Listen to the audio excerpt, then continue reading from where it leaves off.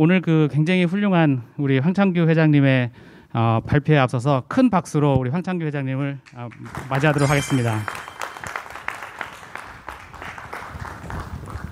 보이지 않는 눈을 보는 그 힘이 바로 통찰이라고 합니다. 저는 어, 이 보이지 않는 것을 보게 하는 것이 엔지니어라고 어, 감히 이야기 드릴 수 있고 그 엔지니어의 그룹에 한국 최고의 지성 집단이 카이스트라고 저는 생각합니다. 미래는 준비된 자의 것이다. 맞습니다. 준비를 했습니다. 저도 열심히. 그런데 여기에다 저는 하나 더 붙인다고 그러면 통찰하고 결단하는 자의 것이라고 저는 어, 정의하고 있습니다. 위기의 경영의 선구자 이건희 회장, 어, 여러분 너무나 잘 아시고 또 설명이 필요 없으신 분이죠. 대한민국의 오늘날의 경제를 이렇게 만드신 어, 주역 중에 주역이시죠. 이근희 회장의 통찰의 그 핵심은 처음에 제일 먼저 위임입니다. 임파워. 그리고 난 다음에 경청을 합니다. 그 다음 단계는 혼자서 굉장히 많은 스코를 하십니다. 그리고 결정을 해야 될 순간이 오면은 정강 석화처럼 결단을 내립니다. 스티브 잡스의 통찰을 한번 이야기를 해볼까 합니다. 이분은 정말 그 미래에 대한 제품이나 기술에 대한 열정이 어, 그 어느 누구도 따라갈 수 없는 정도로 그냥 광적으로 그냥 어, 대단한 열정을 갖고 있죠. 그리고 비전을 공유하기 시작합니다. 황해 법칙은 모발 시대를 견인했고 시장 적용 분야가 달랐습니다. 이 시장의 요구에 따라서 기술의 변화도 어댑터를 한 법칙입니다. 그러니까 어, 마켓 어, pull이라고 이야기를 어, 드릴 수가 있습니다. 문제는 그게 중요한 게 아니고 모바일 시대가 되면 그거를 컨텐츠를 가져가야 될 컨텐츠가 무궁무진하게 늘어나는 거죠.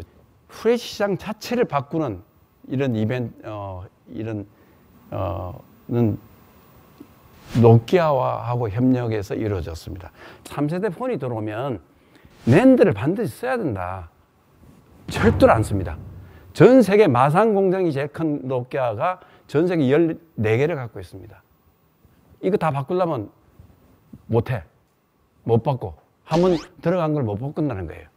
낸드에 로직을 집어넣고 에스력을 집어넣어서 노화를 할 수 있도록 만들어줬습니다.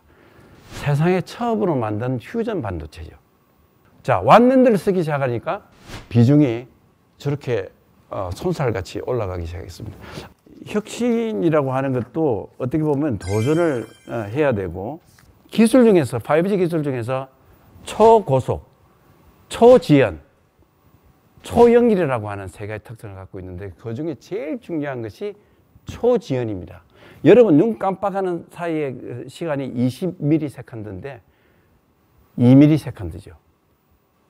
그러니까 자율주행이 퍼펙트하게 가능하고 병원에 원격 시, 술이 가능한 겁니다. 15년에 우선 저 하고 18년에 상용화를 선언했습니다. 그리고 19년에 어, 실제로 5G를 이제 이렇게 현실로 어, 발표를 했는데 여기 지금 삼, 현대중공업에 5G가 들어가 있는 것을 2년 전부터 어, 제가 이제 떠난 지가 됐으니까 3년 전부터 됐군요. 이 배 길이가 220m입니다.